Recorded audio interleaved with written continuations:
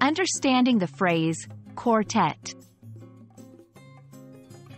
Hello everyone. Today, we're going to delve into the fascinating world of English phrases and understand the meaning of the term, quartet. By the end of this video, you'll be able to confidently use this word in conversations and writings. Quartet refers to a group or a set of four people or things. Originally, the term was used in the context of music.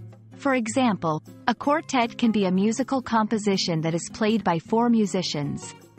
It can also mean a group of four singers or players who perform together. Let's explore the word quartet in various contexts to understand its versatility. 1. Music. As mentioned before, if you have four musicians playing together, they form a quartet.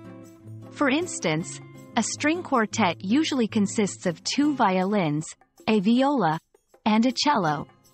2. Literature. Sometimes, authors might release a set of four related books or novels, often referred to as a quartet. 3. Everyday life. The word can also be used in general contexts. Imagine if four friends always hang out together. You might jokingly call them a quartet. 1. Count. Always remember. A quartet involves four entities. It's more than a trio, 3, and less than a quintet, 5. 2. Versatility. Though it started in music, the term can be used in various contexts.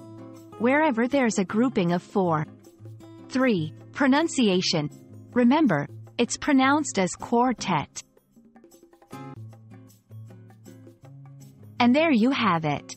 The term quartet beautifully encapsulates the idea of four entities coming together, whether it's in music, literature, or daily life.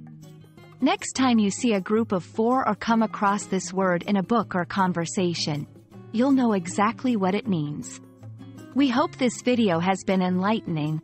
Until next time, keep learning and expanding your vocabulary.